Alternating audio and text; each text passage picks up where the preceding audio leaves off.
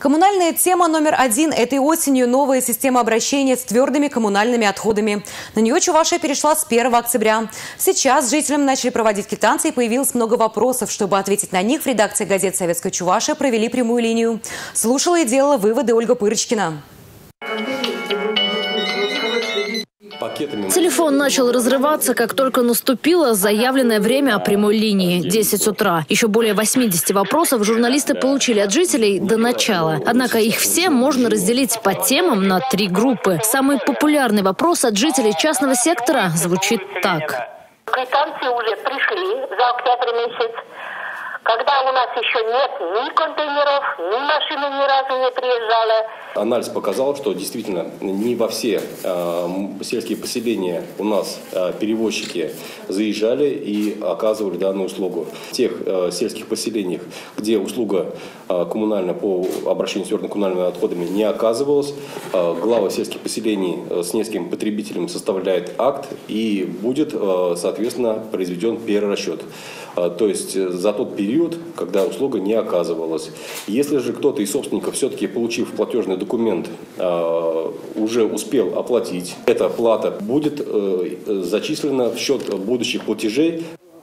Следующая по популярности тема. Жители сел и деревень считают, что мусора не производят. Во всяком случае, не на норму потребления в 2,2 куба на человека в год. У нас по цене что-то слишком дороговато, что думается. Мы же на селе живем. У нас же получается не как в городе. В основном-то у нас отходы идут корм скоту, пищевые отходы, и на навозную кучу. Только мусор мы не можем найти просто. Отсутствие мусора иногда объясняется свалками в близлежащих оврагах, отметили эксперты. А если за услугу придется платить, то и необходимость выбрасывать мусор куда попало отпадет. Практика показывает, это просто пример приведу, что вот есть э, сельские населенные пункты, где вот за время работы рекоператора мусор э, удивительно прибавился в разы. Если вы говорите, что сейчас что-то утилизируете, возможно, вы что-то перестанете утилизировать. А что делать, если человек является собственником нескольких домов или квартир? Неужели платить по всем адресам? И это еще один из самых часто задаваемых вопросов. Собственность на меня, собственность на меня, так? Родительский дом. А здесь в Новоюрном, ну, в городе Чебоксарах, Чебоксарах, квартира прописана. А так, таких случаев куда, что платить за мусор? Если вы прописаны в квартире, но в настоящее время там не проживаете, вы должны обратиться в адрес регионального оператора для того, чтобы э, вам произвели э, перерасчет.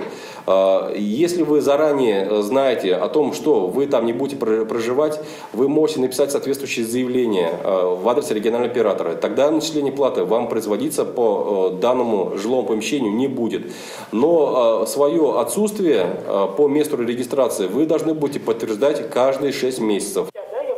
Вся подробная информация и контакты регионального оператора, куда нужно обращаться с заявлением, есть на сайте. Адрес вы сейчас видите на экране. Кроме того, подробные ответы на заданные вопросы будут в ближайших выпусках газеты «Советская Чувашия». Все звонки сегодня поступили от жителей районов республики. Так что про Чебоксары – вопрос от нашей съемочной группы. По дороге на прямую линию мы специально обратили внимание на контейнерные площадки. Мусора в баках не было, а вот так называемый крупногабаритный мусор на месте. Как ответил генеральный директор рекоператора МВК «Экоцентр» Виктор Лугуновский, вывоз старых диванов, оконных рам и унитазов – их зона ответственности. Просто делается это по графику, а не каждый день. Ольга Пырочкина, Андрей Шоколев, Республика.